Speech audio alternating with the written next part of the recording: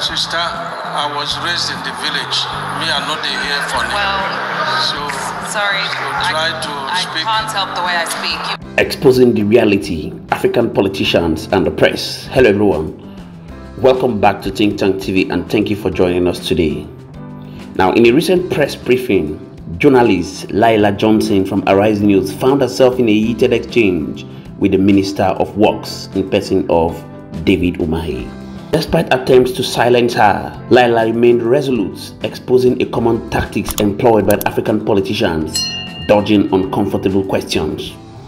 Like I keep saying, it's crucial for citizens and journalists to hold our leaders accountable to ensure transparency and accountability. Many African citizens unfortunately feel disenfranchised, viewing their leaders as untouchable gods rather than public servants.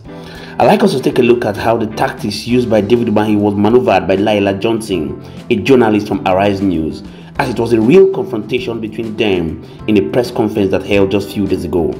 Do you want to hit the comment section and drop your thoughts? Let's get to know what you think about the tactics of Laila Johnson. I shall continually be here to serve you. Take a look. um, you mentioned the ESIA is currently being carried. Uh, sister, I was raised in the village. Me, I'm not here for Well, So, sorry. So I, try to I speak. can't help the way I speak. You mentioned that the ESIA was being carried out at the moment. Um, the EIA Act of 1992. I need interpreter. Well, you have enough people next to you.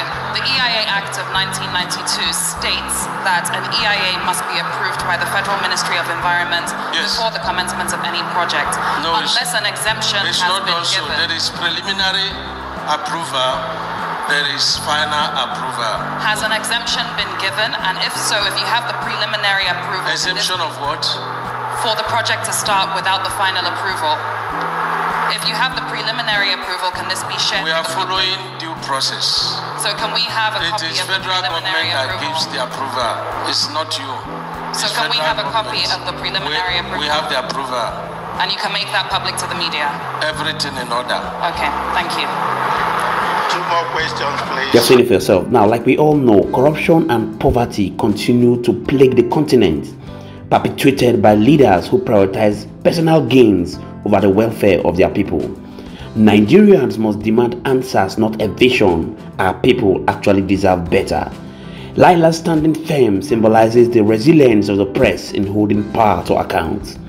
As long as journalists like Laila Johnson continues to challenge the status quo, there remains hope for a more accountable and just future in Nigeria. Many thanks indeed to all our viewers and returning subscribers. We really do not take it lightly.